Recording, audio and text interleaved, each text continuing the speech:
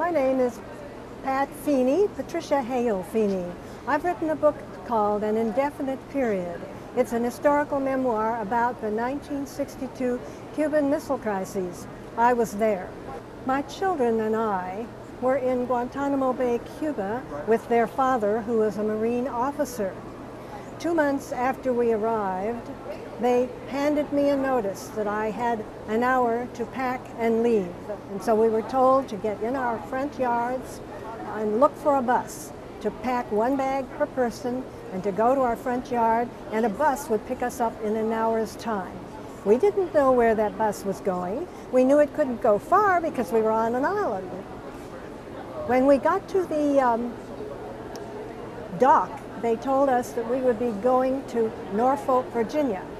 We were on a ship called the Upshur. One day out at sea, they told us to all be quiet and sit down because they had um, a telegram from the President of the United States, who was John F. Kennedy. And I can never talk about this without crying, but um, he sent us a telegram which said, I apologize for separating you from your husbands and fathers for an indefinite period. And that is where the title of my book has come from. More has been written about the Cuban Missile Crisis than any historical event in the history of the world.